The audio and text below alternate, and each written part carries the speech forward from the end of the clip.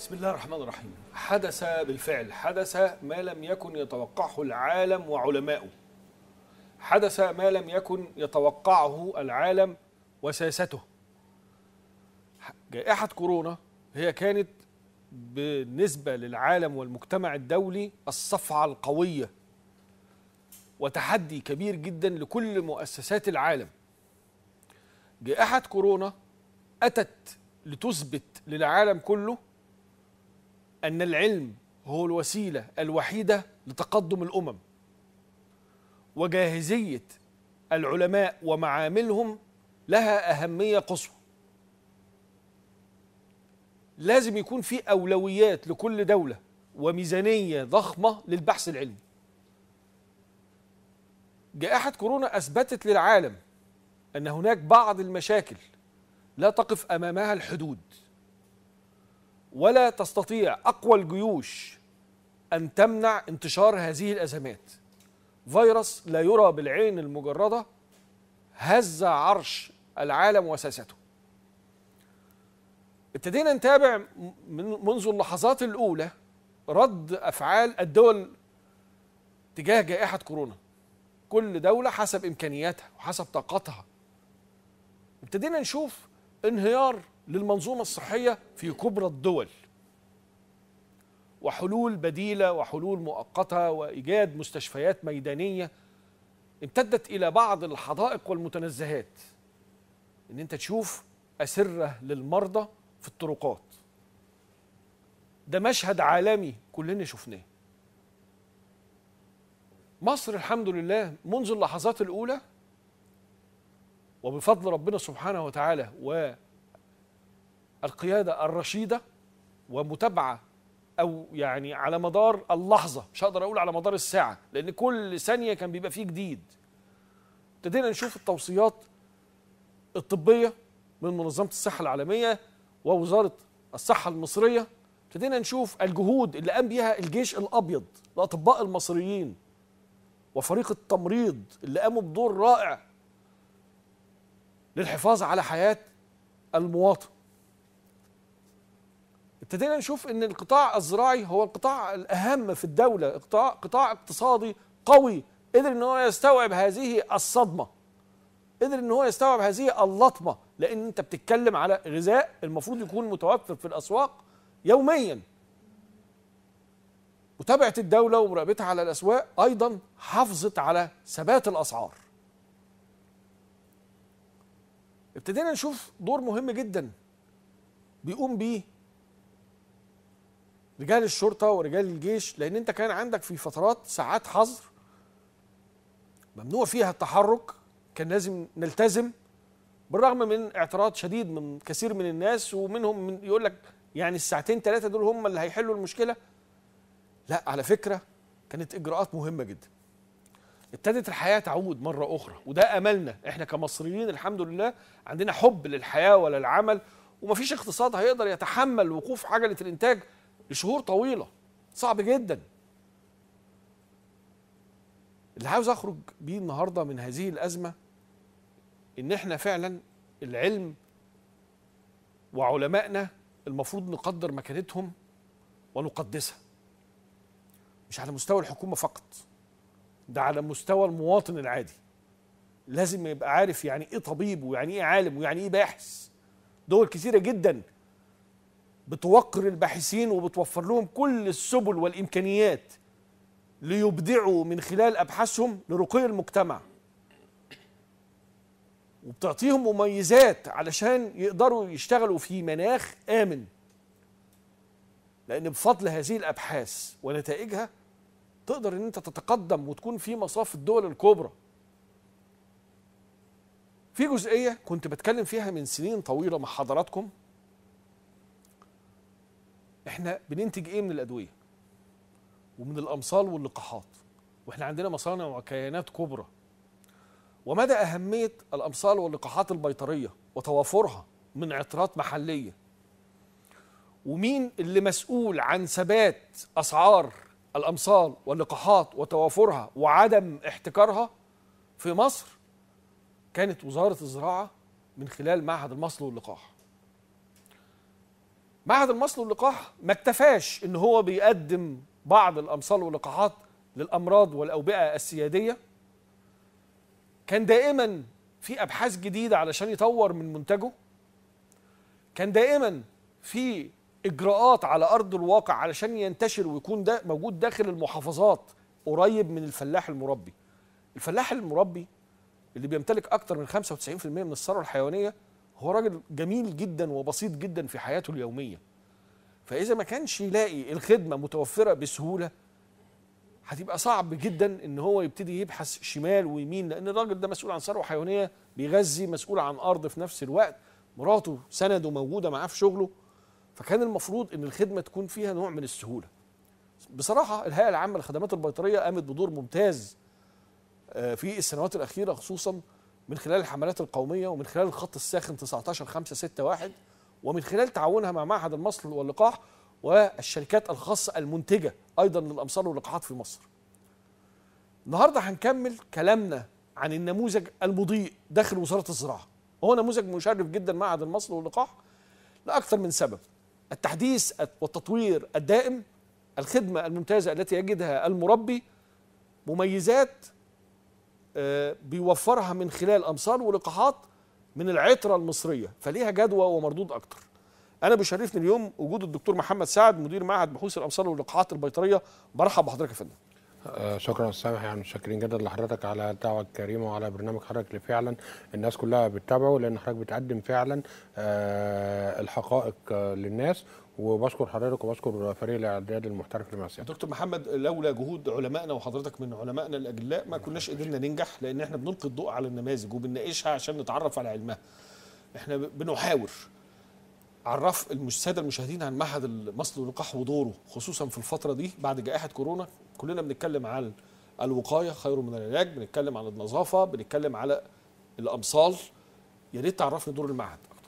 تمام فندم طبعا آه، بداية خلينا آه، آه، نقول للسادة المشاهدين إن المعهد طبعا أنشئ سنة 1903 ومن من أقدم المعاهد البحثية لتطوير وإنتاج الأمصار واللقاحات البيطرية على مستوى الشرق الأوسط بل على مستوى العالم. ودي بتبقى فخر لينا إحنا كبيطريين إن الحمد لله رب العالمين إن مصر فيها معهد زي معهد مصر واللقاح اللي بيقدر ينتج اللقاح من الألف لليه. يعني مجرد ما بيظهر أي عتره موجودة في الحقل المصري بيبدأ المعهد يتحرك مباشرة لعزل هذا العتره ويبدأ يحضر ليها اللقاح آه، مباشرة. ويمكن جائحة كورونا دي ألقت الضوء على إن لازم كل الدول آه، تبدأ تتجه لتحقيق ال- الاكتفاء الذاتي من احتياجاتها في كل المجالات مش بس في الامصار واللقاحات البيطريه يعني زي ما سيادتك عارف إن موضوع الكورونا يعني عمل شبه عزلة لكل الدول ومفيش انتقالات ومفيش آه، بضايع ومفيش ومفيش. شلل تام. بالظبط كده. فبالتالي زي ما سيادتك تفضلت وقلت إن القطاع الزراعي قدر الحمد لله إن هو آه، يوفر ال- آه، السلع الرئيسية اللي المواطنين بتحتاجها خلال هذه الجائحة. فاحنا بدورنا الحمد لله رب العالمين كمعهد مصر معهد الامصار واللقاحات البيطرية. بنطور من إنتاجنا يعني إحنا ممكن دلوقتي بنكفي الحمد لله حوالي من 85% لحيوانات المزرعة وبنرفع إنتاجيتنا من لقاحات الدواجن الله إن شاء الله شهر 10 اللي جاي. هيبقى عندنا افتتاح ل آه، قسم إنتاج اللقاحات الحية للطيور وده هيرفع إنتاجيتنا لتصل لحوالي 40% من احتياج مصر من لقاحات الدواجن. حضرتك بتقول بنقدر نوفر 85% من اللقاحات حيوانات المزرعة. المزرعة يعني بالظبط. حيوانات المزرعة اللي هي اللي هي الأبقار طب. والجاموس والأغنام والماعز وال- وال- والجمال. ال 85% دول من خلال معهد المصري واللقاح من فقط ولا بالشراكة مع القطاع الخاص؟ إحنا كمعهد لأن إحنا يعني هو ال- المعهد بينتج كل اللقاحات الموجودة لل- للحيوانات المزرعة. يمكن القطاع الخاص بيشارك في لقاح أو لقاحين ما بيكملش في الباقي. فالحمد لله رب العالمين إن المعهد بيقدر دي يقوم بدوره مهمه قوي يا دكتور. إحنا عندنا اللقاحات السيادية. اللي بتستخدم ضد أمراض إيه؟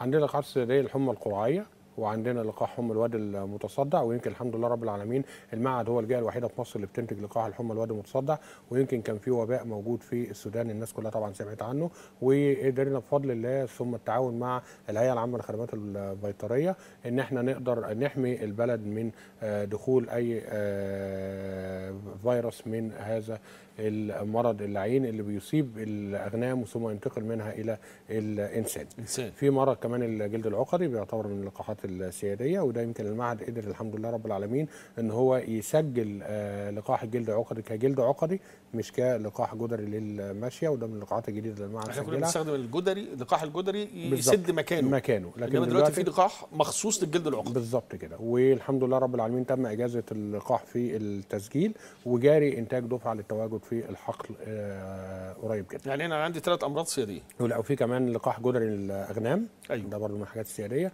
ولقاح طاعون المقطرات الصغيرة ده برضه من اللقاحات السيادية. طاعون المقطرات الصغيرة اللي. هو بيصيب الأغنام. بيصيب الأغنام بالظبط. أربع خمس لقاحات دول الأساسيين. بالظبط. دول المعهد هو المسؤول عن إنتاج 85% من اللي بيغطي الثروة الحيوانية عندي في مصر ده غير بقى اللقاحات الأخرى كمان إن في لقاحات مش سيادية أيوة. بتستخدم برضه في حالات المزرعة زي لقاحات ال- ال- ال- اللقاح التنفسي ولقاح الاسهال المعدي في العجول آه، لقاحات الكلوستريديات في لقاحات للدواجن بقى لا لل large animal برضه في لقاحات ثانية بس. مش سيادية دي بيحصلها أيوة. المربي آه، بعيد عن آه، ال- الحملات القومية. يعني ده بيبقى حسب طلب المربي بس بيبقى إحنا عندنا موفرينها. موجودة، لأن عارفين إن دي من خريطة ال- التحصينات اللي المفروض بيحصن بيها مزرعته. بالظبط دي من الخريطة الوبائيه الموجودة في مصر وبالتالي لازم اللقاحات بتاعتها تكون متواجدة ولكن هي ما بتبقاش من ضمن الحملات القومية اللي بتقوم بيها الهيئة العامة للخدمات البيطريه تكنولوجيا تصنيع اللقاحات هل هي بقت سر خفي؟ يعني إحنا وصلنا لمرتبة متقدمة ولا لسه بنسعى ان إحنا نطور أكتر؟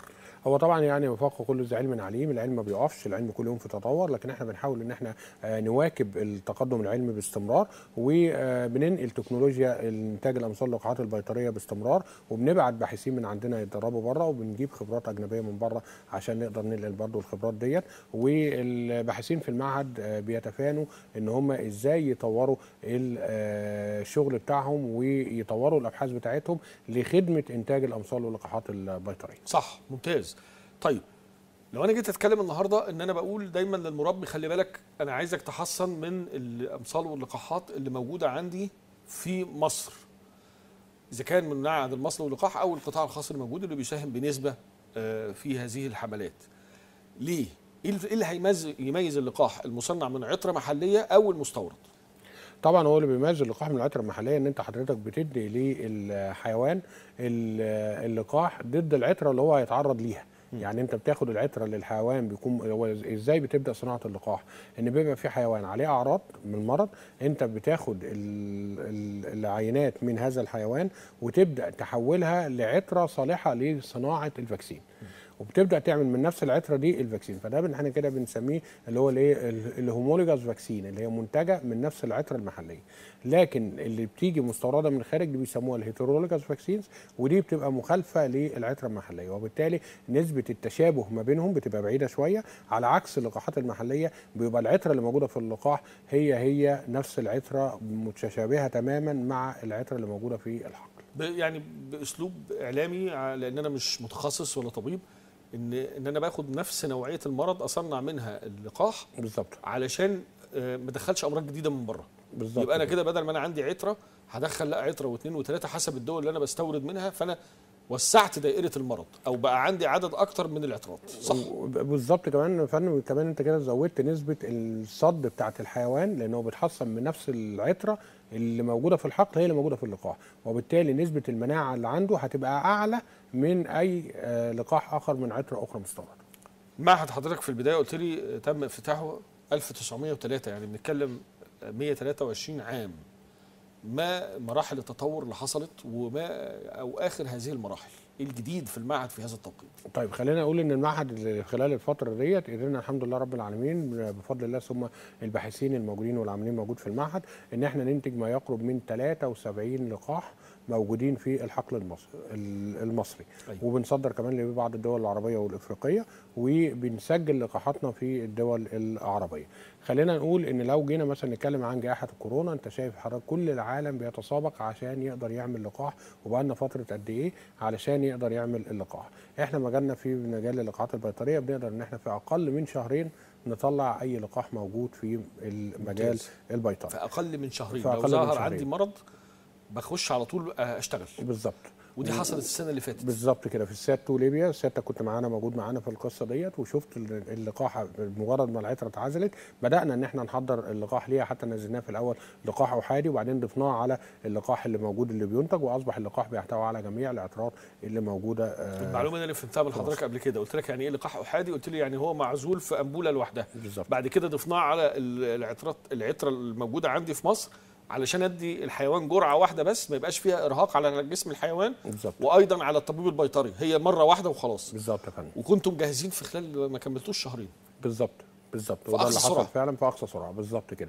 دي في خلال الفترة دي قدرت تحول العطرة المعزولة من عطرة حقلية إلى عطرة تص- تصلح لتصنيع اللقاح وبدأت فعلا آه، تمر بمراحل الإنتاج وتطلع إزازة اللقاح ويتم كمان معايرتها كان وانزالها سعرها رمزي جدا يا نعم، دكتور. بالظبط يا فندم. إحنا طبعا زي ما سيادتك عارف إن المعهد ما بيهدفش رب- للربحية ولكن بيهدف لتوفير اللقاحات بأسعار اقتصادية للسادة المربين. وهو المعهد ده الدور الرئيسي بتاعه إن هو زي ما سيادتك قلت هو رمانة الميزان في صناعة اللقاحات في مصر وفي توفير اللقاحات في مصر علشان يقدر تحافظ ال- الوزارة والحكومة على تداول اللقاحات في مصر. تمام.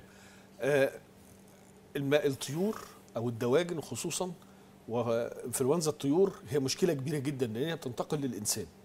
معالي الوزير السيد القصير أعلن من فترة قريبة جدا إن في منشآت في مصر خالية من إنفلونزا الطيور وإن إحنا كده مسموح لنا نصدر نبتدي نفتح أسواق خارجية جديدة. دور المعهد في صد هجمة إنفلونزا الطيور على الثروة الداجنه في مصر.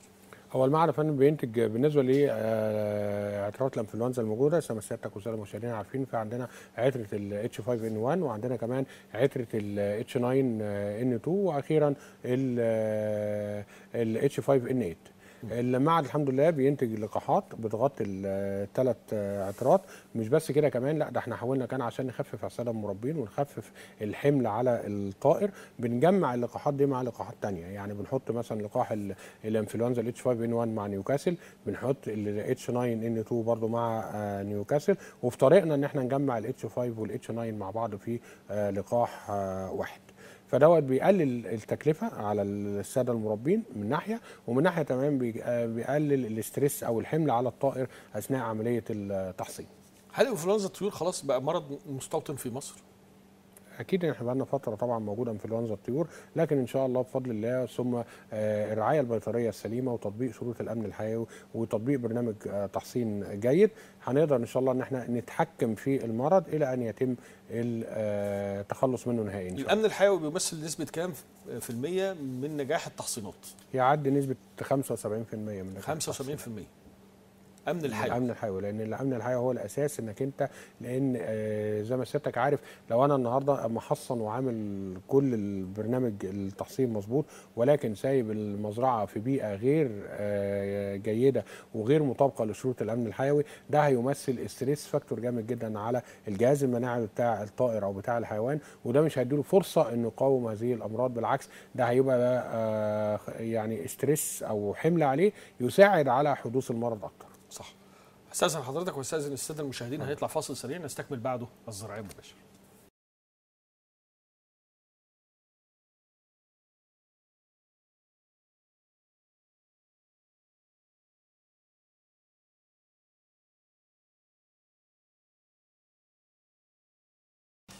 بسم الله الرحمن الرحيم. برحب بحضراتكم مرة أخرى في الزراعة مباشر وبجدد ترحيبي بالدكتور محمد سعد مدير معهد بحوث الامصار واللقاحات البيطرية. مشرفني يا دكتور محمد. شرف لنا فندم. عاوز أعرف يعني إيه الفرق ما بين المصل واللقاح؟ تمام. آه خلينا نقول آه، إن اللقاح هو آه إن إحنا بنحفز الجهاز المناعي بتاع الحيوان أو الطائر أو حتى الإنسان آه لإنتاج أجسام مضادة للفيروس أو البكتيريا قبل حدوث المرض. يعني اللقاح هو بيستخدم لحماية ال- الطائر, الطائر. عشان ما يصابش بالمرض. بالظبط. وده بيسعى الطائر أو الحيوان أو الإنسان عشان ما يصابش بالمرض. ولكن المصل بيستخدم بعد حدوث المرض. إن أنا بيبقى عندي أجسام مناعية جاهزة ببدأ إن أنا أديها للمصاب عشان أبدأ إيه أخليه اللقاح يقاوم المرض. وقاية المصل علاج. بالظبط كده. اللقاح وقاية والمصل علاج. حضرتك وإحنا بنتكلم قلت لي آه، هننتج خلاص لقاح آه، حي.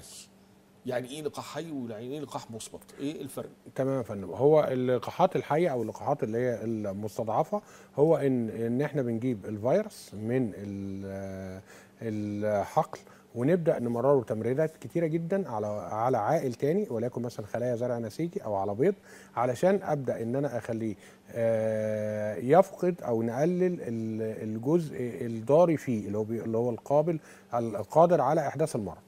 وبالتالي لما يخش جسم الإنسان وهو مستضعف أو جسم الح- الحيوان أو الطائر يبدأ يشغل الجهاز المناعي لكن ما يعملش أعراض مرضية بس بيشغل الجهاز المناعي ولكن في صورة مستضعفة. تمام.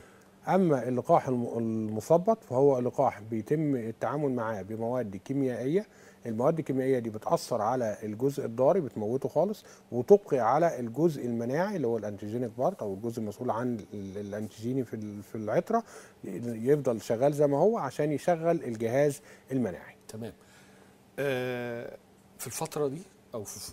في الظروف الحالية الناس كلها بتواجه أزمة كورونا الشغل متوقف لكن أنتم بتستعدوا لافتتاح بعض المنشآت الجديدة الهدف منها إيه؟ وإيه آخر المنشآت اللي تم إضافتها للمعهد في السنوات الأخيرة؟ هو فندم طبعا آه، إحنا الحمد لله رب العالمين فترة جائحة كورونا لأن زي ما سيادتك عارف إن الناس بتبقى السادة المربين آه، والمزارع بيبقى عندهم برنامج تحصين البرنامج دوت لازم بيتم فيه توقيتات معينة ما ينفعش إن هو يجي يحصن ما يلاقيش اللقاح بتاعه أيوة. وبالتالي إحنا في ظل جائحة الكورونا كان السادة الباحثين موجودين عندنا في المعهد آه، منتظمين في العمل بتاعهم الحمد لله رب العالمين مع تطبيق كافة الإجراءات الاحترازية عشان نقدر نوفر اللقاحات اللازمة للسادة الايه المربين لحماية الثروة الحيوانية والدجاجة. آه، المعهد الحمد لله قدر في الفترة الأخيرة دول إن إحنا نسجل 16 لقاح جديد لم يكن ينتجوا من قبل آه، في آه، المعهد. وبنطور المنشآت يعني عندنا الحمد لله دلوقتي تطوير لقسم إنتاج لقاح الحمى القولعيه وحمى الوادي المتصدع إن شاء الله هنتم الافتتاح قريب لإنتاجهم بنظام الخلايا المعلقة. عندنا كمان آه، افتتاح ل آه، زي ما قلت لسيادتك آه، إنتاج اللقاحات الحية للطيور وده هيرفع الإنتاجية بتاعتنا من ال- القدرة الإنتاجية بتاعتنا بنسبة حوالي من 30 ل 40% عن القدرة الإنتاجية السابقة.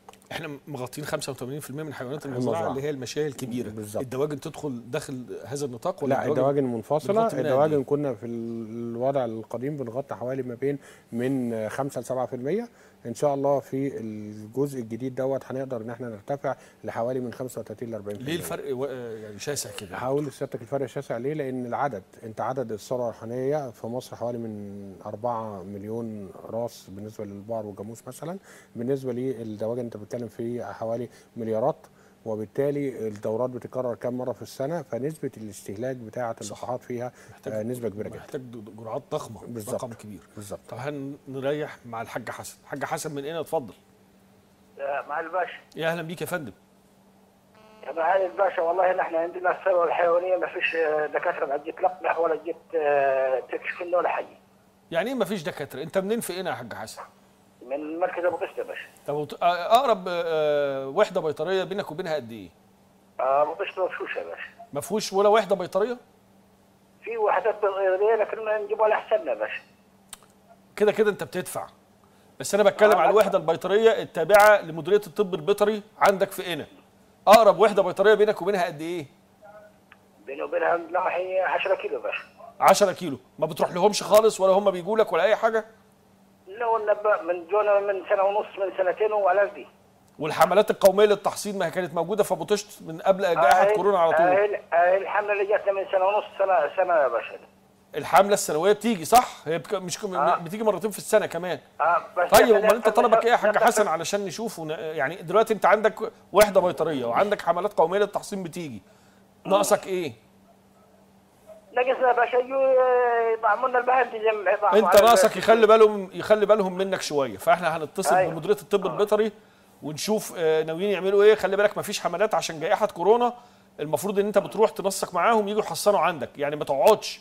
إذا كان الأطباء البيطريين ما بيخشوش من بيت لبيت زي الأول لكن هم موجودين. فأنت تروح وتكلمهم وأنا هديك رقم مدير مديرية الطب البيطري. اتصل عليه مش هيتأخر عنك خالص. وبعدين كلمتك يا باشا في موضوع الملح برضه ما وصلناش لدلوقتي. ما هو انت متصل عشان موضوع الملح صح؟ فقلت أقول أقول كلمتين عن ال- الثروة الحيوانية عشان أدخل. والله يا والله بص هقول لك موضوع الملح أنا- موضوع الملح ما دام انت اتصلت آه، في خلال 48 ساعة هيكون موجود عندكم لأن برامج الأسمدة خلاص اتحركت من المصانع بشكرك يا حاج حسن. بشكر حضرتك. آه، اللي حم... مين بقى؟ معانا مين يا أحمد؟ طيب بشكرك. آه، المربي آه، محتاج حد يبقى موجود عنده. يعني بالظبط. كلمة الحاج مكالمة الحاج حسن دي أنا مش هعديها كده. هو بيقول لك مش لاقيين حاجة. أنتم بتعملوا منتجات مميزة جدا بس هي موجودة في العباسية. هشوفها إمتى في المحافظات. طيب خليني أبشر سيادتك وأبشر السادة المشاهدين إن الحمد لله رب العالمين وده بفضل الله آه، ثم يعني آه، توجيهات ودعم معالي الوزير سيد القصير منذ آه، توليه المسؤولية وزيارته لينا للمعهد أو توليه حقيبة وزارة الزراعة وتعليماته المشددة لينا إن إحنا لازم نوصل للناس في المحافظات ما نقوقعش نفسينا في المكان اللي إحنا فيه. تمام. وبدأنا فعلا نمشي في الاتجاه ده بدعم مباشر وتعليمات من معالي الوزير وبإشراف مباشر ودعم مباشر من السيد الأستاذ دكتور محمد سليمان رئيس المركز البحوث الزراعيه قدرنا إن إحنا آه، نعمل تعاون مثمر جدا مع إدارة معهد بحوث الصحة الحيوانية. وأثمر هذا التعاون المثمر. وأنا يعني بنتهز البرنامج وتوجه الشكر لاداره معهد بحوث الصحة الحيوانية لأنه فعلا آه، الناس تعاونوا معانا تعاون كبير جدا. اصفر دوت على إن إحنا دلوقتي بنفتح فروع لمعهد بحوث اللقاحات البيطريه في كل المعامل الفرعية التابعة لمعهد بحوث الصحة الحيوانية. كويس. و... وأنا قاعد مع سيادتك النهارده تم النهارده بالتحديد افتتاح فرع دمنهور واسكندرية. آه، امبارح آه، تم آه، افتتاح آه، كفر الشيخ والمنصورة ومن ثلاث أيام تم افتتاح ال- آه، الزقازيق ومن قبلهم فتحنا آه، طنطا وشبين الكوم. وبس عشان أجازة العيد آه، كل سنة وعليكم الساده المشاهدين طيبين هنوقف القصة اللي بعد أجازة العيد مباشرة. هنبدأ نكمل الافتتاح في كافة المحافظات عشان يبقى في كل معهد فرعي لمعهد بحوث الصحة إحنا معانا. صور دلوقتي يا أستاذ أحمد بعد إذنك عن الفروع اللي الدكتور بيتكلم عنها. يعني الدكتور جاب لكم صور لهذه الفروع. طب ننزلها تاني. آه نزلها تاني وإحنا بنتكلم دلوقتي لأن دي مهمة قوي. ده طلب للمزارعين بقاله سنين. صف. معهد تم إنشاؤه في 1903 موجود في ميدان العباسية من 1903 أي مربي محتاج مصل أو لقاح هيجي لي من آخر الدنيا. هيدب المشوار زي ما بيقولوا. وفي الآخر ممكن اللقاح يفسد منه. المعهد هيوفر له تلج. طيب وهضمن إن أنا يوصل لغاية ممكن يسافر خمس ست ساعات. ده في ناس ساكنة آه، أو مزارعها في أسوان والأقصر. هتوصل بالتلج ده سليم. فطبعا النهارده بعد سنين طويلة بنشوف فروع موجودة في كل المحافظات. أنا دكتور دي البداية. إحنا بنتكلم طنطا شبين الكوم الزقازيق دمنهور اسكندرية كفر الشيخ المنصورة. أنا كتبت ورا حضرتك. مش كفاية. عاوزين في الصعيد. إن شاء الله. لأن المربي في الصعيد يعني الحاج حسن من هنا بيكلمني وهو حاسس إن هو مظلوم وأنا أنا برضه حاسس بيه. وأنتم ابتديتم والمهمة ثقيلة لكن بالتنسيق وبالوطنية اللي موجودة عند حضراتكم النهارده نقدر ننفذها. هلاقي لقاحات في صعيد مصر إمتى؟ دي, البعيدة بقى. أنا بوعد سيادتك إن إن شاء الله في خلال شهر من تاريخ اللي إحنا موجودين فيه شاء دلوقتي الله. هيكون كافة محافظات مصر إن شاء الله اتغطت بمنافذ بيع لمعهد مصر باللقاح في كل المعامل الفرعية التابعه لمعهد بحوث صحه الحيوان. إن شاء الله. صبرنا 120 سنة يا جماعة. معهد بيشتغل معامل على أعلى مستوى ومصانع رائعة أحدث تكنولوجيا. والأجمل والأروع من كده فريق كامل من علماء مصر بيسخر جهوده ووقته كلها للتطوير وللإنتاج. موجودين وبنشتغل. وبن- وبننتقل من خلال الحملات القومية للتحصين بنغطي مصر كلها. بس إحنا عندنا عدد من الأمراض السيادية محدود لكن في أمراض تانية كتير خصوصا في الدواجن المربي بيجري شمال ويمين عشان يوفر لها الأمصال واللقاحات بتاعتها. الدواجن هي أمصال ولقاحات برضه ولا لقاحات فقط؟ لا ليها لقاحات فقط. لقاحات فقط. صحح لي يا دكتور لا لقاحات مش متخصص. لقاحات طيب الحاج الهادي اتفضل. أيوه يا دكتور. الدكتور بيسلم على السلام حضرتك. عليك الساعة طبعا كده ازيك يا حاج؟ الله يخليك كل عام وانت طيب. وحضرتك. بالصحة والسلامة. والله أنا كنت اتصلت من شهر كان دكتور حمد على البرنامج ومعاه الدكتور منصور. تمام. بيننا وبين الوحده البطاريه أقرب وحده بطاريه 15 كيلو. كان عندنا وحده بطاريه بنيناها بالجهود الذاتيه وجزلوها على انها تنبني يعني أنتوا محتاجين وحده بيطريه قريبة منكم. إحنا محتاجين وحده بطاريه فادانا ميعاد على انه هيحطها في الخطة العاجله طيب انت انت فين. بالظبط؟ مكانك فين بالظبط يا. حاج هادي؟ حاج هادي انت فين أيوه. بالظبط؟ انت فين بالظبط؟ أنا في الاسماعيليه القصين جديدة قريه الوادي الأخضر. هنتواصل مع الهيئة العامة للخدمات البيطرية دكتور عبد الحكم محمود ونشوف إيه نعم. الإجراءات اللي تمت وامتى هيتم تنفيذ الوعد. بشكر حضرتك. إحنا آه، فين من العالم في تكنولوجيا صناعة اللقاحات والأبصار؟ آه والله آه، حضرتك إحنا طبعا زي ما قلت لسيادتك بنطور على طول وبنتابع كل الشغل العالمي في انتاج المصحات للوقاحات البيطريه وعايز أقول لمعاليك الحمد لله رب العالمين إحنا عندنا أجهزة متطورة جدا وبننتج اللقاحات على أحدث طراز عالمي. ودوت آه آه يعني بنعمله في إطار كمان الاعتماد الدولي اللي إحنا حاصلين عليه. لأن زي ما سيادتك عارف إن أول شرط من شروط الاعتم- الاعتماد هو تطبيق ال- آه، الطرق القياسية في إنتاج الأمصال واللقاحات البيطريه والمعهد من فضل الله معتمد بثلاث شهادات اعتماد دولية ال 17025 من ال ILAC العالمية ومكتب الاعتماد الوطني EGAC وال GMP و9001 من أسيرتا. فأنت بيحصل عند سيادتك auditing في المعهد على طول بصفة مستمرة. بيجي فريق آه للمتابعة ولتقييم المعهد بصفة دورية عشان يتأكد من تطبيق كافة الاشتراطات القياسية العالمية في إنتاج الأمصال واللقاحات البيطريه عاوز أستفيد من وجود حضرتك عالم ذو قيمة وقامة في هذا المجال وآخد بعض النصائح للمربيين اللي من خلالها ينجح في التحصين لأن في مربي ممكن يحصن ويقول لك ما جابش نتيجة. أنجح إزاي وأنا بحصن طيب بداية خلينا نقول أول حاجة عشان نجاح التحصين زي ما اتفقنا مع سيادتك إن تطبيق شروط الأمان الحيوي نمرة آه، اتنين عملية نقل اللقاح. وعشان كده دي إحنا لجأنا لموضوع آه، فتح المنافذ بتاعتنا على مستوى المحافظات عشان نضمن العملية لأن المن- المنفذ مش بس إن إحنا بنوفر ثلاجات أو فريفز- فريزرات آه، قياسية أو standard لحفظ اللقاحات يعني ما ينفعش حتى تعطل. بالظبط إحنا موفرين كمان معاها سيادتك إيه مولد كهربائي بيشتغل أوتوماتيكي في خلال أقل من 30 ثانية حال انقطاع التيار الكهربائي. عشان نضرب نضمن الحفظ ال- آه، جيد. الجيد للقاحات ديت في نفس الوقت عندنا الحمد لله رب العالمين آه، قدرنا برضه بفضل الله ثم دعم معالي الوزير وسياده الاستاذ الدكتور رئيس المركز ان إحنا نوفر اسطول من العربيات الثلاجه المجهزة الحديثة على اعلى مستوى علشان تنقل اللقاحات دي برضه بالطرق الحفظ الجيدة لهذه المنافذ. تمام. آه كده المربي ضمن إن الم- المكان اللي هيجيب منه اللقاح محافظ اللقاح بالمستوى الجيد المطلوب عليه برضو إن هو ينقل اللقاح دوت في نفس التلج والفوم أو الثلاجات اللازمة. الحافظه بالظبط كده يا فندم بعد كده لما أبدأ إن أنا أستخدم الايه اللقاح ببدأ إن أنا يعني أستخدمه بالجرعة اللي مذكورة على ال- النشرة بتاعة اللقاح ما. ينفعش إن أنا أغير في هذا الكلام لأن الكلام ده بيتم عليه أبحاث الأبحاث ديت بتقول إن إزازة اللقاح ديت لازم بتستخدم بالجرعة ديت بطريقة الحقن ديت عشان تديني الكفاءه المثلى المرجوة من هذا اللقاح. في نفس الوقت إن أنا ألتزم بالميعاد المناسب اللي محطوط في البرنامج بتاع التحصين اللي وضعه الطبيب البيطري المختص اللي بيتابع هذه الحيوانات. في بعض اللقاحات أنا كنت بشوف الأطباء البيطريين يقول لي دي لازم أفتحه تحت المية. عشان آه، أخ- آه، آه، ده عبارة عن إيه؟ ده فندم لقاحات الدواجن الحية عموما. اللقاحات اللي بتبقى عبارة عن لقاح disc كده أو lyophilized مجفف. وبالتالي اللقاح دوت لما بتيجي أنت تدخل اللقاح ده في التصنيع بتاعه بيخش في صورة محلول وبعدين بيخش حاجة اسمها جهاز التجفيد فجهاز التجفيد ده بيعمل ضغط عالي جدا عشان يضغط السائل ده ويحوله إلى disc ويسحب منه ال moisture أو المية اللي موجودة عشان يتحول ل disc. وبالتالي الضغط اللي موجود جوه الإزازة دي لو جيت أنا فتحته بره المية هينفجر في وشي وهيعمل مشاكل كتيرة جدا.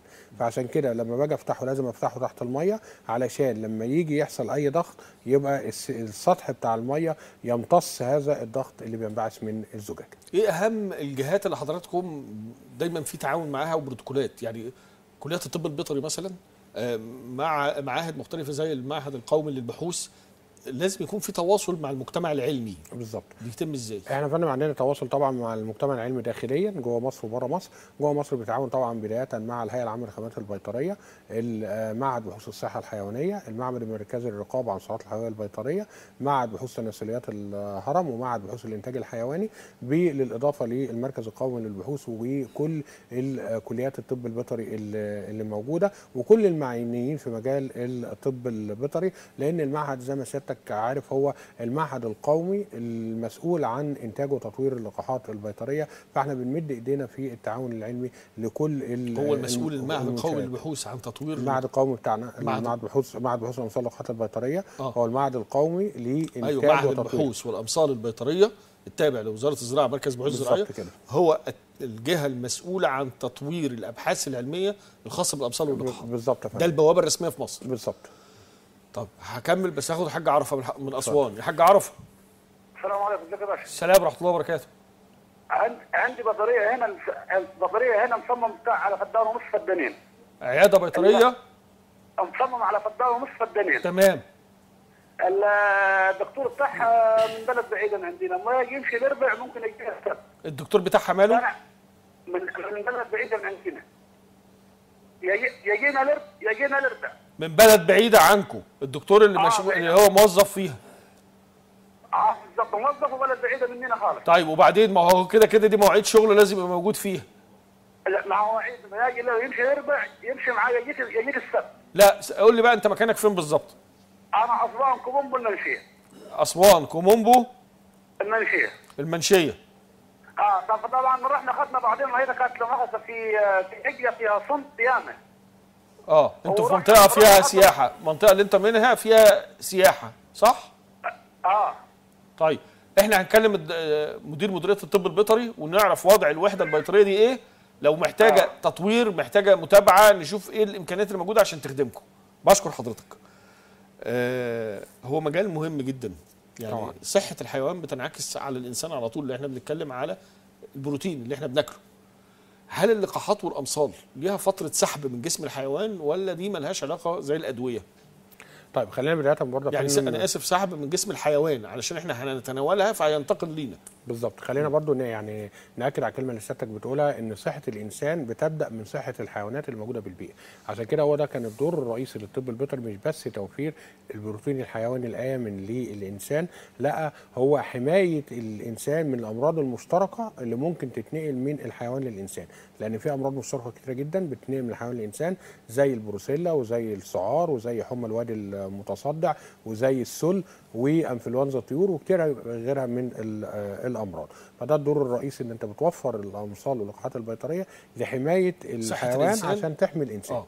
الحاجة التانية طبعا إن المفروض إن أنا قبل ما بذبح الحيوان بفترة آه، آه، 21 يوم أو أكثر يعني لا تقل عن 21 يوم ببدأ أمنع أي تحصينات أو أي حتى أدوية 21 يوم. بستخدمها 21 يوم عشان أدي فرصة للقاح دوت يتم ال withdrawal period أو آه، إن هو يخرج معنى كده إن اللي يقول لك بتاعي أنا هذبحه عشان الحقه ده بيخلص فانا هذبحه بسرعة. فده لازم يبقى عارفين ده عنده إيه ولازم يتكشف عليه بيطريا كويس. بالظبط يا فندم. ونسأل يعني الذبح ده خارج المجازر ده مرفوض تماما. طبعا طبعا طبعا. يعني أنت المفروض حضرتك دلوقتي إن إحنا بنتكلم في غذاء صحي آمن وبالتالي أنا لازم إن يكون في متابعة بيطرية على أعلى مستوى أثناء عملية ال- الذبح. عشان كده إحنا بنناشد كل سنة وحضرتك طيب بالصحة المشاهدين. بمناسبة عيد الأضحى المبارك إن الناس كلها تتجه إلى المجازر. وأعتقد إن في تعليمات مشددة من معالي الوزير ومن الوزارة إن المجازر كلها إن شاء الله هتبقى موجودة على هبة الاستعداد لاستقبال ال- آه، السادة المواطنين. هل يمكن إن إحنا نستغنى عن استيراد الأمصال واللقاحات من الخارج؟ إن شاء الله يا فندم إحنا بنعمل على هذا جاهدا وإن شاء الله نقدر نحقق آه، طفرة في صناعة الامصال واللقاحات البيطريه ونقدر بالشراكة مع ال- آه، الشركات القطاع الخاص اللي بتنتج اللقاحات إن إحنا نوصل للهدف ده اللي هو بقى فرض علينا دلوقتي في كل المجالات بعد جائحة كورونا اللي زي ما قلنا في الأول إن هي بتقول لكل الدول لازم تبدأ تشوف إنك أنت تعتمد على نفسك. ودي آه، توجيهات القاده السياسيه ان إحنا فعلا آه، نبدا ان إحنا نعتمد على انفسنا في كل مجالات معالي الوزير السيد القصير اكد على الموضوع ده بالظبط. ان إحنا عايزين نطور من انتاجنا ونزود عدد الجرعات علشان نقلل من الاستيراد. معايير الاستيراد من الخارج مين اللي مسؤول عنها؟ وعلشان ادخل عندي مصل أو لقاح آه، المفروض إيه الإجراءات اللي بتتم على هذه الأمصال واللقاحات بداية طبعا بيتقدم للهيئة العامة للخدمات البيطرية اللي حد عايز ينتج محليا أو يستورد من خارج أي لقاح. الهيئة بتقوم بفحص الملف العلمي ده من خلال لجنة علمية بيولوجية. مسؤولة عن هذا الكلام. بعد كده بيتم إرسال عينات للمعايرة وتأكد من صلاحية هذا اللقاح للتسجيل. بعد كده بصفة دورية أي لقاح بيتم إنتاجه محليا أو بيتم استيراده من الخارج بيتم معايرته في المعمل المركزي للرقابة على الصلاحيات الحيوية البيطرية وهو إحدى معامل مركز بحوث الزراعية التابعة لوزارة الزراعة وهو معهد معمل معتمد دوليا آه، بيقوم بكل حيادية بمعايرة أي لقاح سواء كان منتج محليا أو بيتم استيراده من الخارج. تمام. أستاذ جمال من محافظة أسوان اتفضل. أيوه السلام عليكم. السلام ورحمة الله وبركاته. نور يا أستاذ سامح أنت الضيف بتاعك. الله يكرمك يا حاج جمال. والله عاوزين آه، نسأل مصر الأجانب والتعبين آه، في وادي الصعايدة في أسوان. عايز تسأل عن إيه في وادي الصعايدة؟ الأمصار يعني الأمصار بتاعت آه تجيبها منين يعني؟ والأجانب. تجيبها منين؟ آه يعني ما ما في مش متوفر عندنا. الدكتور وعدنا إمتى هيبقى عندهم في أسوان يا دكتور؟ إن شاء الله بعد العيد خلال يعني من وادي الصعايدة. آه تمام. من خلال من 10 أيام لأسبوعين بعد العيد على طول هيبقى في آه، المعمل الفرعي لمعهد صحه الحيوان اللي موجود في أسوان واللي موجود في الأقصر كمان هيكون في إن شاء الله منافذ بيها. شهر يا حاج جمال. شهر؟ وادي وهيبقى في. منفذ مفتوح عندكم في أسوان وفي الأقصر. من خلال فروع معهد بحوث صحة الحيوان هتلاقي المنتجات متوفرة اللي بينتجها معهد الامصال واللقاحات بالعباسية. موجودة عندك وموجودة عندك الإرشادات والنشرات وأي معلومة أنت عاوزينها هتبقى متوفرة. لكن ال- الكفاءة بتاعت المصل دي يعني. الكفاءة بتاعت المصل آه لأن المصل اللي بيجي من السعودية دي كفاءته بتاعت الأجانب والتعبين احسن اللي بيجي من السعودية أحسن؟ آه مش عارف المصل إحنا بنجيب مصل من السعودية؟ طيب أنا هقول لك على حاجة. طيب. الدكتور محمد معايا أهو بيقول لك إحنا ما بنستوردش أساسا امصال من السعودية. وبالنسبة للكفاءة آه، اتكمل الحلقة من التلفزيون دلوقتي علشان الدكتور هيجاوب على السؤال ده. بشكرك يا حاج جمال. عايزين برضو طيب. إحنا جاوبنا عليها في أول الحلقة بس هنعيدها تاني للمربي كفاءة اللقاح المنتج في مصر عشان بيبقى خايف. يقول لك أنا أجيب المستورد هو أحسن. طيب خلينا نقول تاني نقول إن عندنا حاجتين. آه كفاءة اللقاح بالنسبة للعترة المحلية طبعا هي عترة متشابهة متشابهة جدا أو هي نفس العترة اللي بيتحضر منها اللقاح هي اللي بتهاجم الحيوان وبالتالي هي هتدي مناعة أفضل بكتير جدا من أي عترة مستوردة. دي نقطة. النقطة الثانية سيادتك إن في معهد مصر للقاح عندنا قسم اسمه قسم الدولة الداخل الجودة الداخلية. والقسم ده آه تم اعتماده دوليا بشهادة الاعتماد 17025 من الآيلاك العالمية ومكتب الاعتماد الوطني إيجاك. ده بيقوم بمعايرة وتقييم أي لقاح داخليا جوه المعهد. قبل لم قبل ما يتم كمان تسليمه لمعمل المركزي للرقابة على الصلاحيات الحيوية البيطرية اللي هو المعمل المحايد اللي هو برضه معتمد دوليا في معايرة اللقاحات. ومعمل الرقابة لما بيوصل له أي لقاح بيقوم بنزع label اللي موجود على اللقاح وبالتالي ما بيعرفش مين اللي أنتجه أو مين اللي استورده وبيحط عليه كود خاص بيه ويتم تقييمه ويتم اجازته طالما طلع إجازة ليه من معمل الرقابة يبقى معنى كده إن اللقاح ده على كفاءة عالية جدا ودرجة أمان عالية جدا للاستخدام في الحقل المصري. أنا بقى يعني عاوز أقول لحضراتكم نتخلص من عقدة ال- الخواجة أو الاستيراد من الخارج. بالظبط. يعني إحنا النهارده الدولة عندنا معهد عريق سنة 1903 عندنا علماء العلماء دول هم اللي بيخرجوا من المعهد يشتغلوا في الشركات الخاصة في مصر وبره مصر بيتدربوا جوه المعهد. النقطة الثانية إن أنت علميا اللي أنا فهمتها من الدكتور محمد ومن خلال اللقاءات والحوارات اللي أجريتها على مدار 15 سنة إن إحنا النهارده لما بناخد العطرة من المرض اللي موجود في البيئة بتاعته في دولته ده بيكون أكثر كفاءة علشان آه، يتم تصنيع اللقاح منه وأتعامل معاه ويبقى عندي أمان بدل ما أدخل مرض جديد. فأنا عاوز زي ما نجحنا في السنوات الأخيرة في الحملات القومية للتحصين وحضراتكم تابعتوا والدكاترة أو الأطباء البيطريين كانوا بيخشوا من بيت لبيت قدرنا نتغلب على الحمى القلعية. بقت حالات فردية للي ما بيهتمش وما بيحصنش. الجلد العقدي بيظهر إمتى الجلد العقدي؟ بيظهر لما نكسل. يقول لك أنا مش هحصن ما هو ما فيش جلد عقدي. فيظهر جلد عقدي في الموسم ده والناس تبتدي تناشد الدولة. طب ما إحنا اللي تأخرنا. إحنا اللي تأخرنا. لما يحصل أزمة في الجلد العقدي ونبتدي نحصن من أول وجديد الموسم اللي بعده ما تسمعش عنها خالص. الحمد لله. فاحنا دايما لازم يبقى عندنا ثقة في منتجنا في علمائنا. النهارده أنا بشكر فعلا معهد المصل واللقاح وبشكر معالي الوزير السيد القصير والدكتور محمد سليمان رئيس مركز البحوث الزراعية والدكتور محمد سعد القائم على هذه المنظومة منظومة التصنيع الحقيقي. بشكرهم فعلا إن هم عينيهم على صحة الإنسان. إحنا بنتكلم دلوقتي على صحة الإنسان لأن أنت الزراعة والإنتاج الحيواني وجهان لعملة واحدة. الزراعة نجحت والإنتاج الحيواني هيحصل فيه نمو إنتاج حيواني عاوز رعاية صحية وبيطرية علشان يبقى فيه إنتاج ومعدل تحويل لأن ده الغذاء اللي أنا باكله وحضراتكم بتاكلوه. تابعنا النهارده افتتاح منافذ البيع والتوزيع على آه، مستوى الجمهورية. ابتدينا بحوالي 8 أو 10 منافذ. دكتور محمد وعدني في خلال شهر هنغطي دي وصعيد مصر عشان هم حتى لو لاحظنا النهارده في الحلقة كل المداخلات جاية من صعيد مصر. بشكرك يا دكتور محمد. شكراً. نورتني وبالتوفيق. شاكرين جدا لحضرتك وأشكر سيادتك وفريق الاعداد نورتني. دكتور محمد سعد مدير معهد المصل واللقاح أو اللقاحات البيطرية بشكر حضرتك. شكرا لك شكرا وإلى اللقاء.